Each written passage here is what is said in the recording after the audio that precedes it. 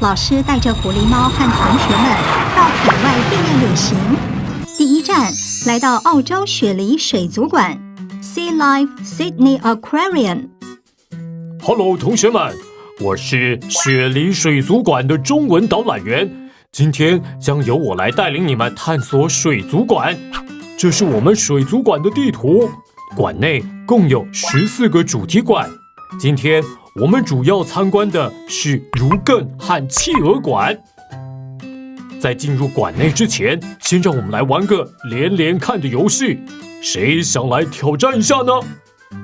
黎黎，你知道什么是如艮吗？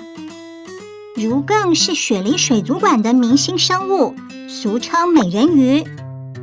那有人知道它要连去什么类吗？嗯。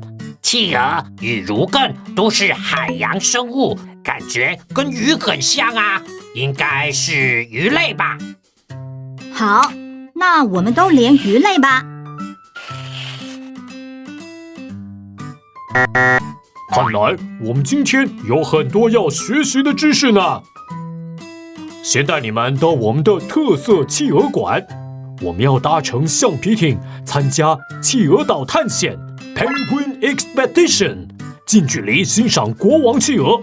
这趟旅程非常冷，一定要穿着大衣，注意保暖。我们出发喽！哇，企鹅在水里游来游去，好可爱哦！水面上结冰，它们都不怕冷吗？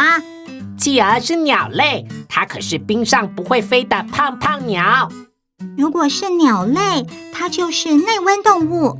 而且可以维持体温恒定。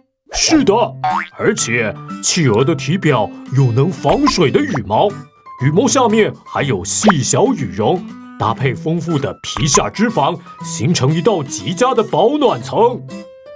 哦，原来企鹅是鸟类。呃，可是企鹅又不会飞，怎么会是鸟类呢？谁说鸟类都会飞呀？听说纽西兰的国鸟、奇异鸟和跑得飞快的鸵鸟也都不会飞哦。世界上大约就有六十几种的鸟都不会飞。鸟类的肺可延伸出许多的气囊，就像身上有气球，加上骨骼内部中空，使得鸟类的重量减轻不少。哇，原来是这样！我绑上气球，能飞得起来吗？你飞不起来的啦！那鸟类的视力是不是也要很好呢？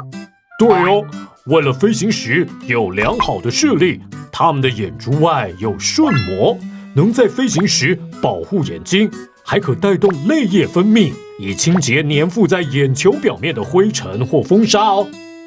好羡慕哦，这样早上起来就不会满脸眼屎了。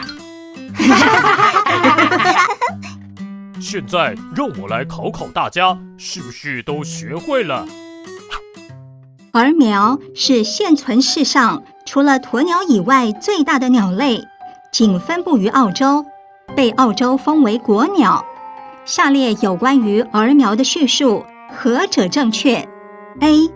肺延伸出许多气囊。B. 骨骼扎实有重量。C. 胎生，D 体外受精。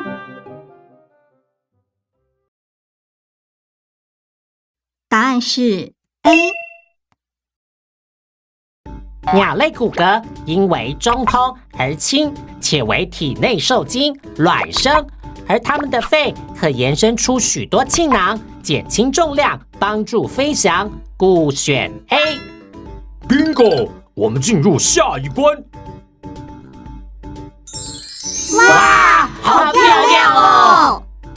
来这里一定要认识另一个明星生物——猪猪。你们知道它是什么生物吗？我知道，它是长得像美人鱼的如艮。我最喜欢如艮了，它会吃菜菜。没错，猪猪是儒艮 （dugongs）。儒艮不是鱼类，而是草食性哺乳类。儒艮和其他哺乳类一样，用肺呼吸，是有毛发的哦。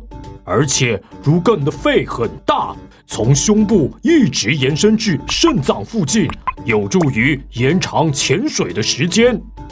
那如更在水里要如何繁殖下一代呢？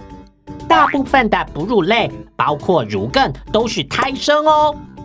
生物老师有教，少部分哺乳类是卵生，卵生的哺乳类有鸭嘴兽和针眼。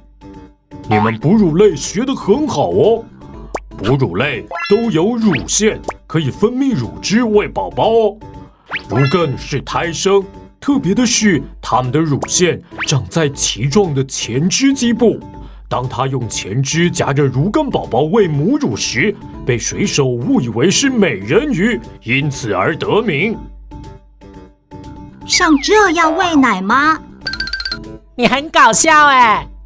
猫确实也能哺乳哦。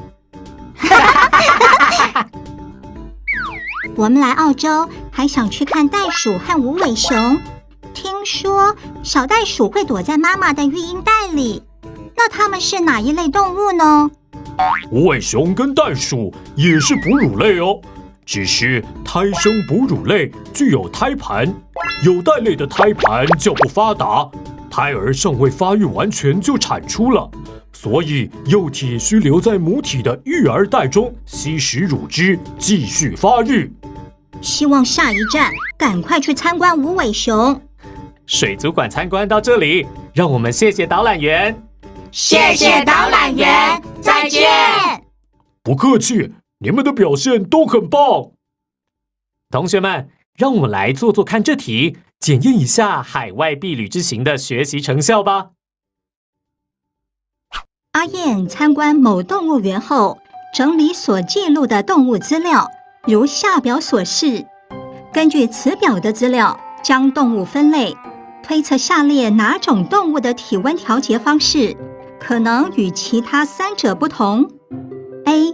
持蟹獴；B. 环颈雉；C. 孟加拉虎；D. 豹纹剪虎。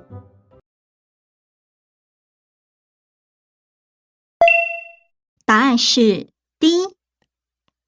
从以上特色，我们可以判断石蟹獴和孟加拉虎为哺乳类，环颈雉为鸟类，即为内温。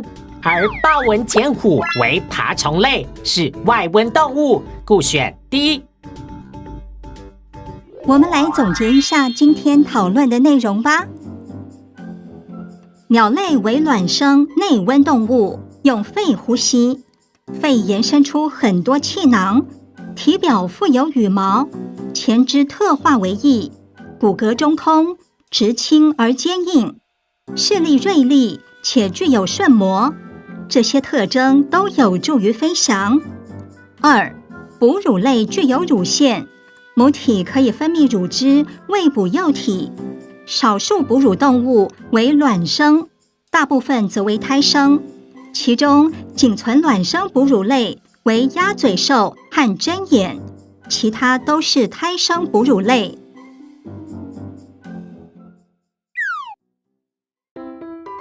卡通里的附属。装死第一名，主要分布在北美洲，一胎可以生下十多只小负鼠。但小负鼠一开始要生活在育儿袋里。根据上述，请推论，负鼠应该属于本支影片介绍的哪一类动物？欢迎收集资料，跟大家一起分享哦。